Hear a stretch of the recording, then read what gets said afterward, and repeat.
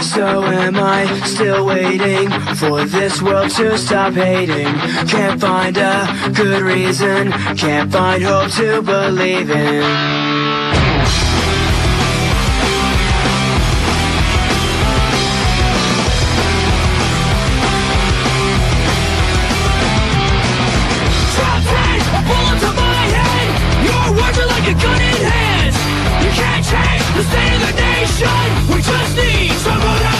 destruction These no conviction Just lies and more contradiction So tell me, what would you say?